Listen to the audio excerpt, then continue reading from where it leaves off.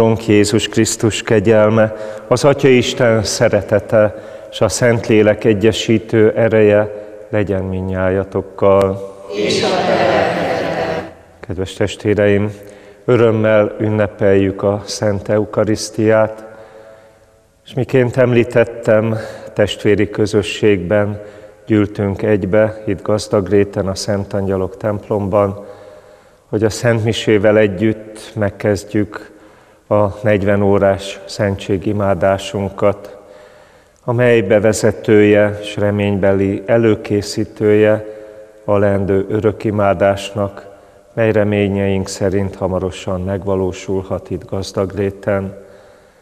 A mennyek országa itt van közöttünk, láthatatlan módon a megkeresztelt ember polgára már a mennyek országának, de amikor szentségi módon az Úr Jézussal találkozunk, sőt imádjuk az Eukarisztiában, akkor mint egy fizikai valóságában is leszáll a menny ide a földre.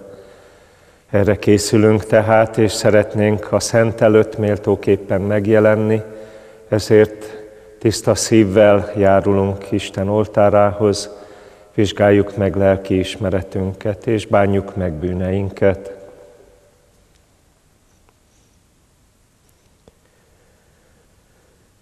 Gyónom a mindenható Istennek, és, és nektek testvéreim, hogy sokszor és sokat védkeztem, gondolattal, szóval, cselekedettel és mulasztással.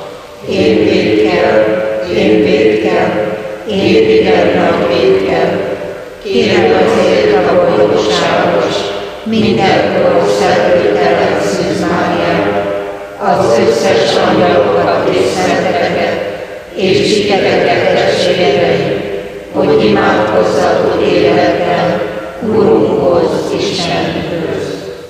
Irgalmazzon nekünk a mindenható Isten, bocsássa meg bűneinket, és vezessen el az örök életre. Amen.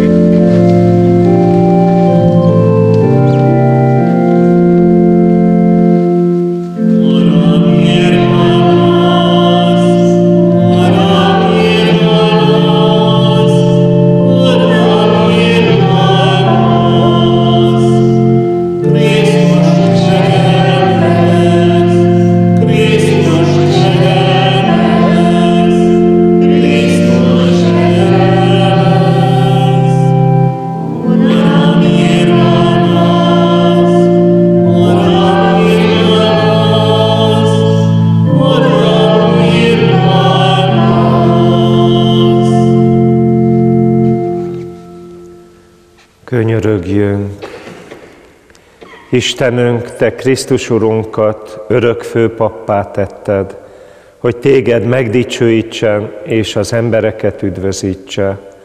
Add, hogy a nép, amelyet vére árán neked szerzett, az ő emlékezetét ünnepelve részesedjék keresztjének és feltámadásának kegyelmében. A mi Urunk Jézus Krisztus, a Te fiad által, aki veled él és uralkodik a Szent Lélekkel egységben, Isten mindörökkön örökké. Amen. Olvasmány a királyok első könyvéből. Amikor elközelgett Dávid halálának ideje, ezeket a parancsokat adta fiának, Salamonnak. Én most már minden földi lény útjára lépek. Légy erős férfi, tartsd meg a te urad, Istened előre írásait. Járj az ő útjain, tartsd meg rendelkezéseit, parancsait, végzéseit és intelmeit, ahogyan megvan írva Mózes törvényében, hogy minden sikerüljön, amit csak teszel, amibe csak belefogsz, s így az Úr beteljesítse ígéretét, amelyet nekem tett. Ha fiaid megtartják útjukat, ha teljes szívükből és lelkükből hűségesen járnak előttem, nem fogy el ivadékod Izrael királyi székéről. Dávid aztán nyugodni tért atyáihoz, és Dávid városában temették el. Az az idő, amely alatt Dávid Izraelen uralkodott, 40 esztendő volt. Hebronban uralkodott 7 esztendeig, Jeruzsálemben pedig 33 esztendeig. Ekkor Salamon elfoglalta atyának, Dávidnak királyi székét, és uralma nagyon megszilárdult. Ez az Isten igéje.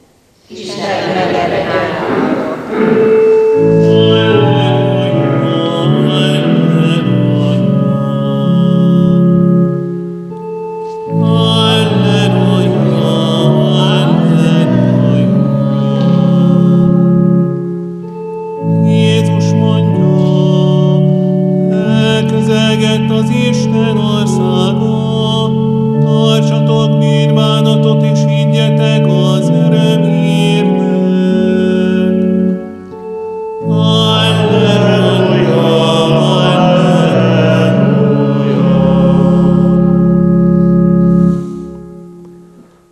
Úr legyen veletek.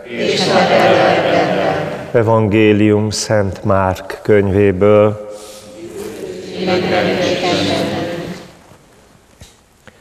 Abban az időben Jézus magához hívta a tizenkettőt, és kettesével elküldte őket, hatalmat adva nekik a tisztátalan lelkek felett. Megparancsolta nekik, hogy az útra ne vigyenek semmit, csak vándorbotot, sem kenyeret, sem tarisznyát, sem pénzt az övükben. Sarut kössenek, de két ruhadarabot ne vegyenek magukra. Aztán így folytatta. Ha valahol betértek egy házba, maradjatok ott addig, amíg utatokat nem folytatjátok. Ha valamely helységben nem fogadnak be, és nem hallgatnak meg titeket, menjetek el onnét, és még a port is rázzátok le lábatokról, tanúbizonyságul ellenük. Azok elmentek, és hirdették mindenkinek, hogy térjenek meg. Sok ördögöt kiűztek, és olajjal megkenve sok beteget meggyógyítottak. Ezek az evangélium igéi.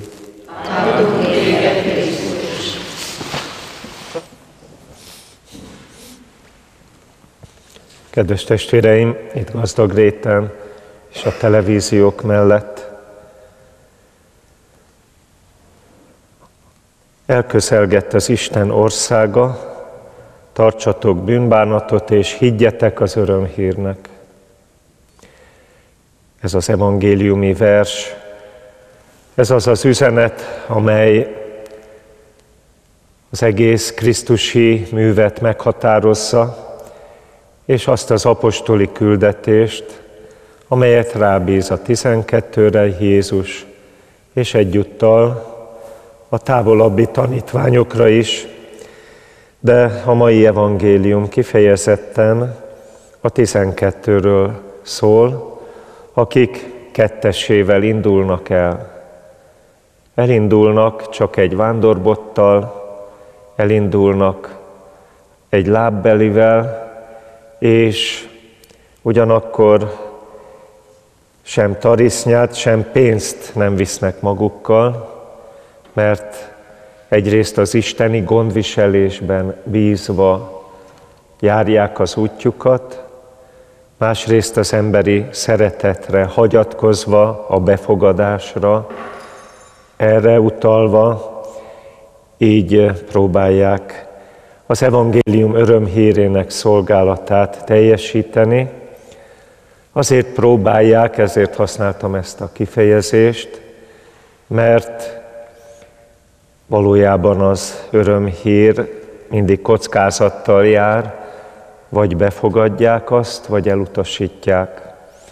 Így az apostoloknak a sorsa az igének a sorsává válik, pontosabban az ige hagyatkozik rá az apostolok sorsára, hogy vagy befogadják őket, és velük együtt a jó hírt, és a jó híron keresztül, jó hírrel együtt a mennyek országát, vagy pedig elutasítják azt az emberek.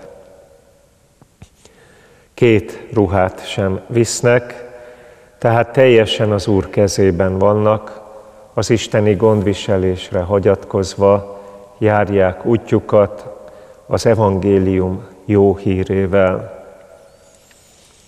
Arra számítanak ugyan, hogy befogadják majd őket, lesz vendéglátóház, lesz táplálék és lesz nyugvóhely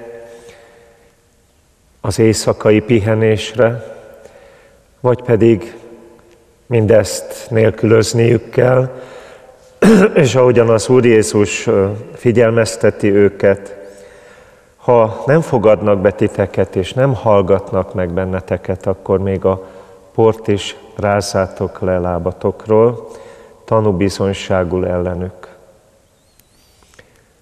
Mind az ige hirdetőjének, mind pedig a befogadóknak nagy a felelősségük. Ez az evangéliumi kép és az apostoloknak a küldetése mindannyiunknak keresztény életútját jelképezi. Sokszor megteheti az ige hirdető azt, és ezt tették már nálam nagyobb ige hirdetők, hogy bizonyos jelképes értelmezést is adnak az eseményeknek, egy kicsit elrugaszkodva az evangéliumnak adott körülményeitől és azoktól a Szentírásban rögzített szempontoktól, amelyeket az evangélium megörökít számunkra. Lehetőségünk van az evangéliumi sorsot jelen esetben önmagunkra vonatkoztatni, és kiváltképpen most az eukarisztiára és a szentségimádásunkra vonatkoztatni. Mi, akik most ebbe a nagy vállalkozásba igyekszünk belefogni, először is a 40 órás szentségimádásba, majd egykor, ha elég erősek leszünk ehhez, vagy szervezettek, akkor az örökimádásba. Ugyanúgy elindulunk utunkra, ebbe a feladatba belevágunk, mint ahogyan az apostolok elindultak az ige hirdetés feladatával.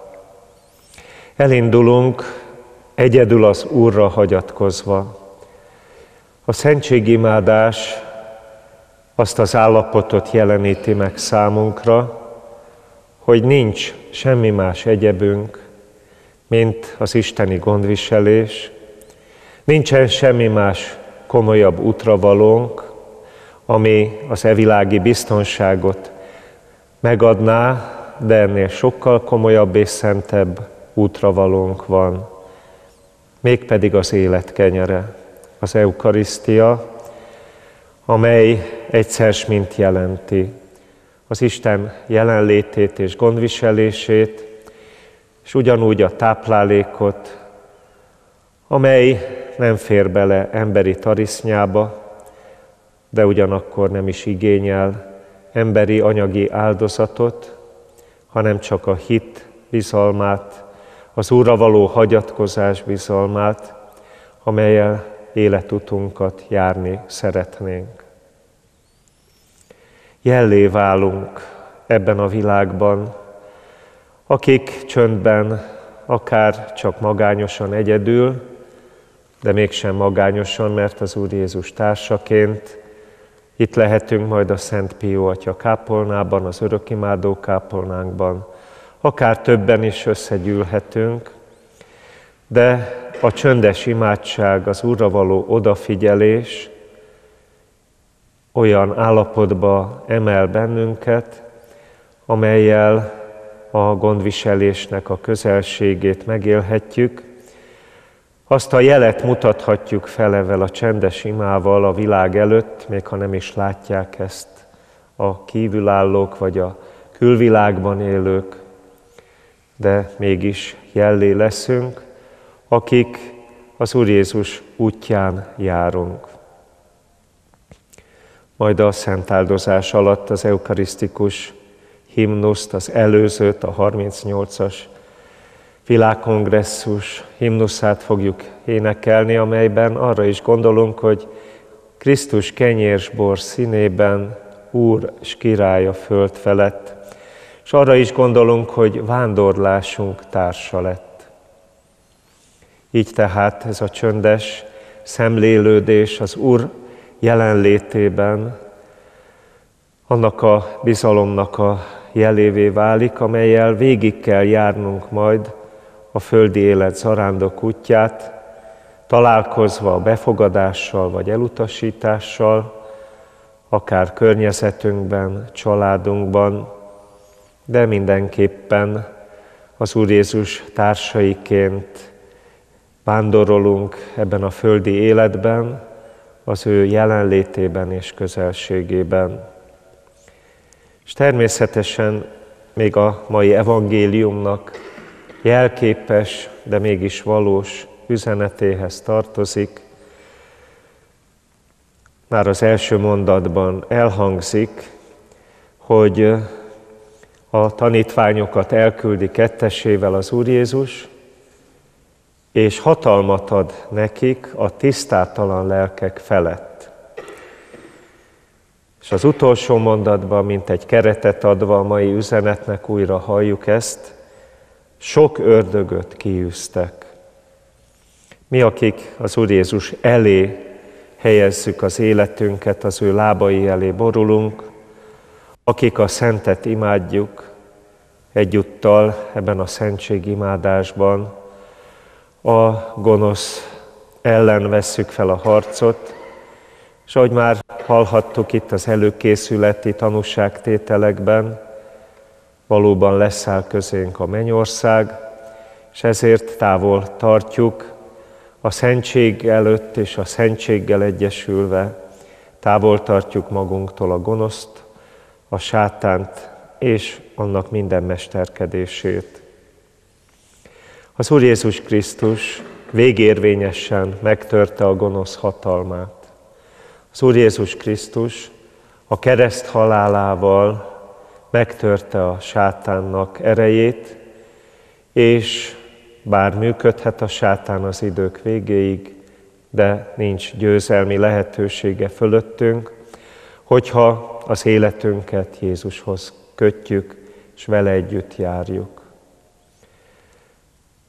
A 16. században, amikor először lépett szokásba Zakaria Szent Antal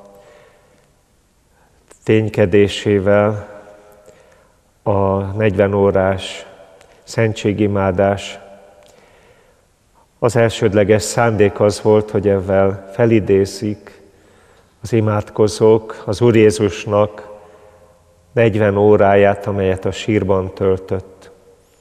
Az eltemetéstől a feltámadásig, valójában azt a szent három napot, amit a húsvét szentitkában felidézünk, és ezzel egyúttal arra is gondolhatunk, hogy az Úr Jézus azért halt megértünk, és azért imádjuk őt az eukarisztiában, az ő áldozati testében, hogy mi éljünk, hogy mi az élet kenyeréből táplálkozzunk, és ahogy az ő ígérete hangzik, együk ezt a kenyeret, hogy örökké éljünk.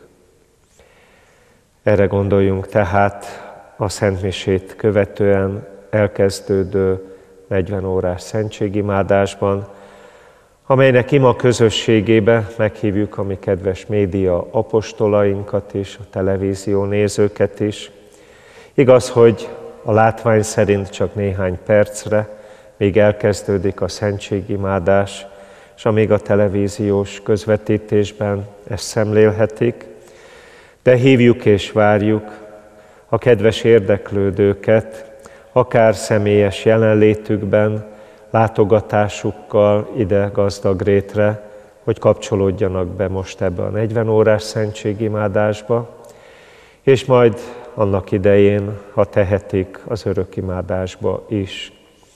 Aki pedig nem tud útra kelni, vagy távolabb lakik tőlünk, ők pedig buzgó imádságaikkal kísérjék a mi itteni imánkat, hisszük azt, hogy a kegyelemnek nincsenek határai vagy földrajzi távolságai, és abban a kegyelmi gazdagodásban mindazok részesülhetnek, akik imádsággal egyesülnek velünk, az itt szentségimádó testvéreinkkel együtt.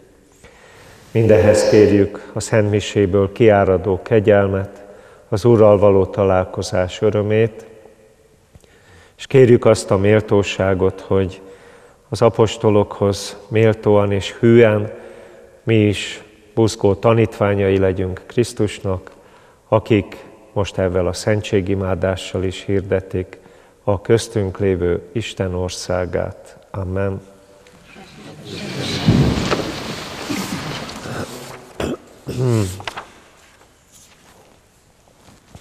Kérjük testvéreink bízó lélekkel az Atya Isten irgalmát magunknak, valamint távol lévő gondokkal küzdő testvéreinknek, média apostolainknak.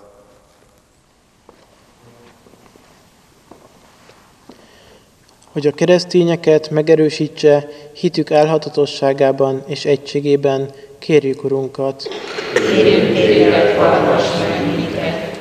Hogy minden népnek megadja a szeretetben és az igazságban gyökerező békét és igaz egyetértést, kérjük Urunkat. Kérjük téged, hallgass meg minket. Hogy ébresszen papi és szerzetesi hivatásokat a lelkekben, és küldjön sok munkás szőlőjébe, kérjük Urunkat.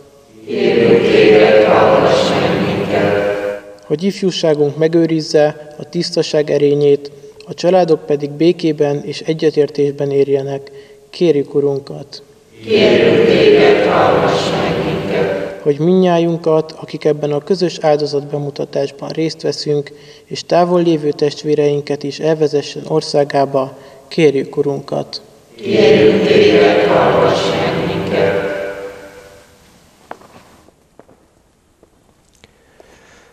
Urunk, tekints megengesztelődve hozzád könyörgő népedre, amely nélküled nem maradhat meg, és ezért irgalmadban bizakodik. Állj mellette bőkezű jóságoddal, és úgy enged boldogulni itt a földön, hogy elnyeri az örök életet, Krisztus, ami Urunk által. Drágos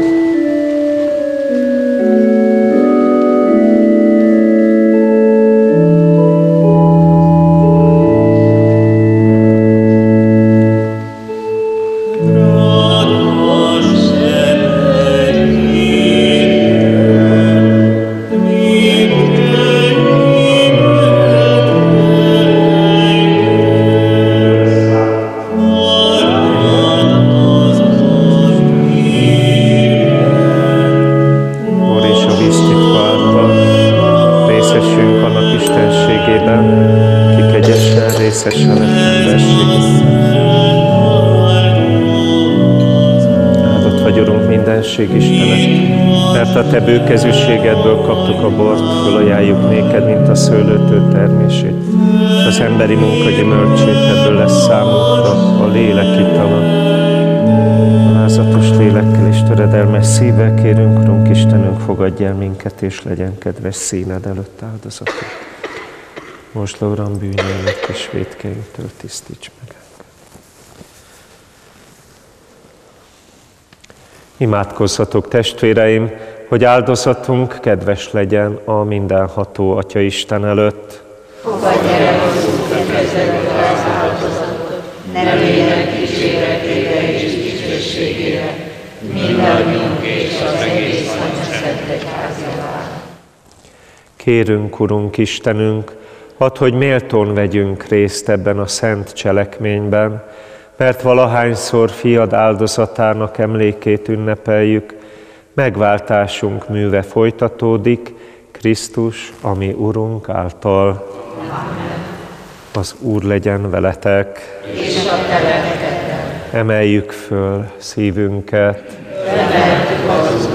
Adjunk hálát Urunknak, Istenünknek. méltó és igazságos, Valóban méltó és igazságos, illő és üdvös, hogy mindig és mindenütt hálát adjunk néked, mi Urunk, szentséges Atyánk, mindenható örök Isten, Krisztus, ami Urunk által, Az utolsó vacsorán apostolaival együtt étkezett, és örökül hagyva üdvösségszerző kereszt halálának emlékét, feláldozta önmagát, mint szeplőtelen bárányt, tökéletes dicsőítő ajándékul neked. E szentséges titok által táplálod és megszenteled hívő népedet, hogy a földkerekségen minden ember az egy hit világosságában éljen, és szeretetben forjon egyé. Egy csodálatos szentség asztalához azért járulunk, hogy boldogító kegyelmet töltsön el minket, és egyre jobban magunkra öltsük szent fiadat, Jézus Krisztust. Ezért zengi néked az imádás új énekét minden élő, a mennyben és a földön, mi pedig az angyalok egész kórusával együtt, hangos szóval hirdetjük és vég nélkül zengjük. Szent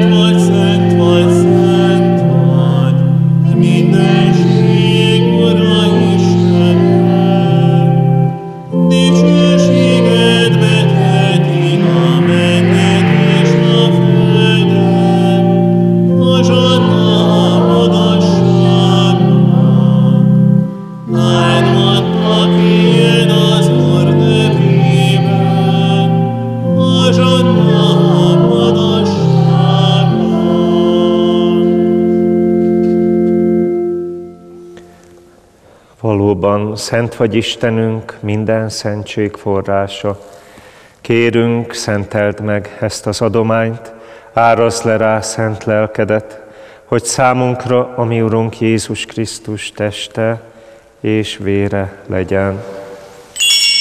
Ő mielőtt önként átadta magát a szenvedésre, kezébe vette a kenyeret, hálát adott, megtörte, tanítványainak adta, és így szólt, vegyétek és egyetek ebből minnyájan, mert ez az én testem, mely értetek adatik.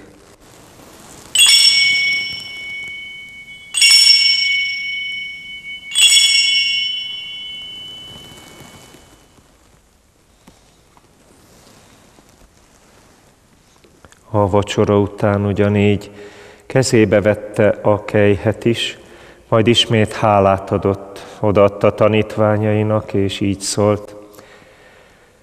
Vegyétek és higyatok ebből minnyájan, mert ez az én vérem kejhe, az új és örök szövetségé. Ez a vér értetek és sokakért kiontatik a bűnök bocsánatára, ezt cselekedjétek az én emlékezetemre.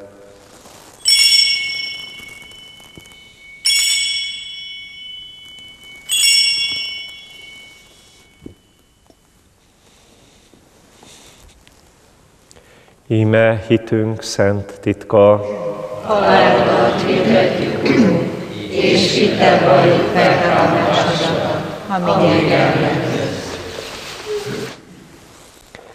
ezért fiat halálának és feltámadásának emlékét ünnepelve, felajánljuk neked, Istenünk, az élet kenyerét és az üdvösség kejhét, és hálát adunk, mert arra méltattál minket, hogy színed előtt állhatunk és szolgálhatunk neked. Kérve kérünk, gyűjtsön egybe a Szentlélek minnyájunkat, akik Krisztus testében és vérében részesülünk. Viselt szíveden, Urunk, egyházat sorsát az egész világon, tett tökéletessé a szeretetben, Ferenc pápánkkal, Péter püspökünkkel, segédpüspökeivel és az egész papsággal együtt. Emlékezzél meg a feltámadás reményében elhunyt testvéreinkről, és mindazokról, akik irgalmadban bízva távoztak el a világból, bocsásd őket szent színed látására.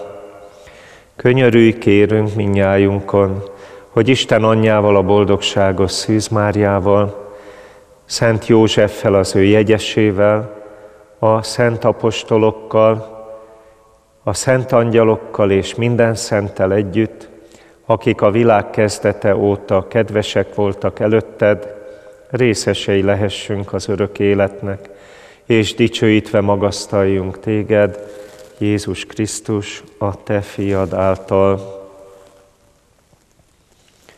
Ő általa, ő vele és ő benne, a tiéd mindenható Atya Isten a Szent Lélekkel egységben, minden tisztelet és dicsőség mindörökkön örökké. Amen. Isten szeretete kiárad szívünkbe a Szentlélek által, ezért mondjuk bizalommal. Mi, Atyám, aki a mennyekben vagy, szenteltessék meg a te jöjjön el a te országod, legyen meg a te akaratod, amint a mennyben, úgy a földön is. Minden napi kenyerünket add meg nekünk ma, és bocsáss meg védkeinket, miképpen mi is megbocsátunk az ellenünk védkezőknek, és ne vigy minket kísértésbe, de szabadíts meg. Szabadíts meg, kérünk, Urunk, minden gonosztól, hogy kegyessen békét napjainkban, hogy irgalmadból mindenkor bűn és baj nélkül éljünk, még reménykedve várjuk az örök boldogságot, és üdvözítőnknek, Jézus Krisztusnak dicsőséges eljöttét. Mert Tiéd az ország, a hatalom és a dicsőség, mindörökké. Amen. Urunk Jézus Krisztus, Te azt mondottad apostolaidnak, békességet hagyok rátok, az én békémet adom nektek, ne védkeinket nézzet, hanem egyházat hitét, őrizd meg szándékod szerint békében, és add meg teljes egységét, aki élsz és uralkodol mindörökkön örökké. Amen. Az Úr békéje legyen veletek mindenkor. És a Köszöntsétek egymást a béke jelével. Legyen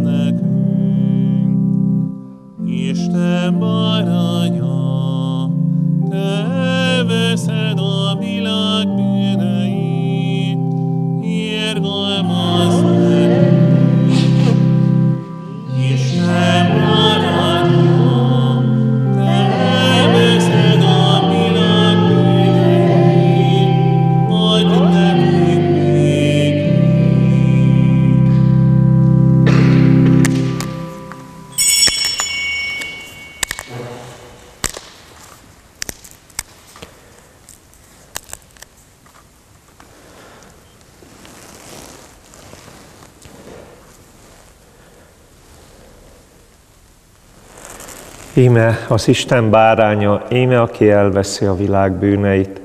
Boldogok, akiket meghív asztalához Jézus, az Isten báránya. Uram, az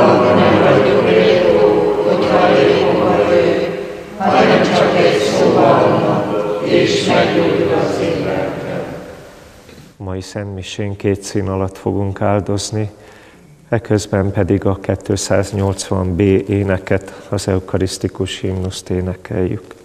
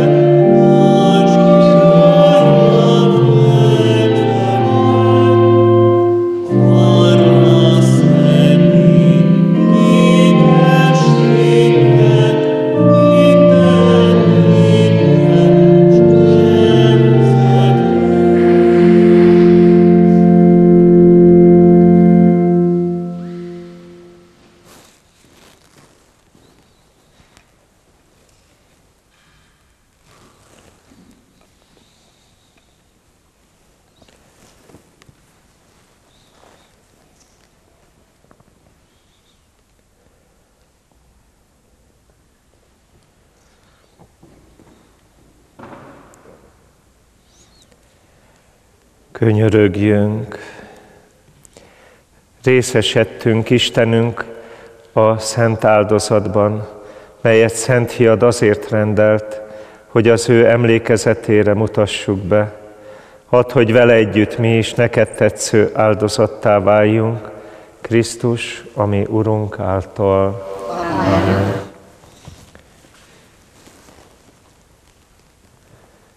Kedves testvéreim, a Szent Mise áldását követően kezdjük meg a szentségimádást, majd együtt felvonulunk a Szent Pió Atya örökimádó kápolnába, és megkezdődik majd a 40 órás szentségimádás.